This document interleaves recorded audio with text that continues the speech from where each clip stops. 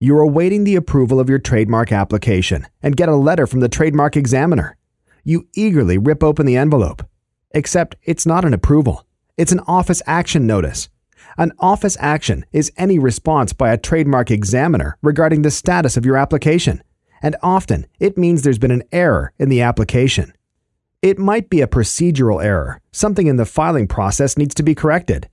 Or it could be a substantive error, something wrong with the underlying subject of the trademark application. These are called non final office actions, and you get a chance to make it right.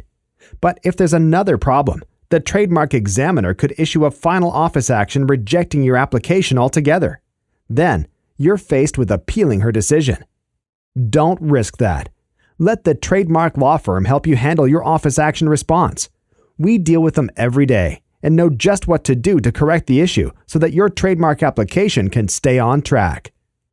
USTMLaw.com. Register your trademark with ease.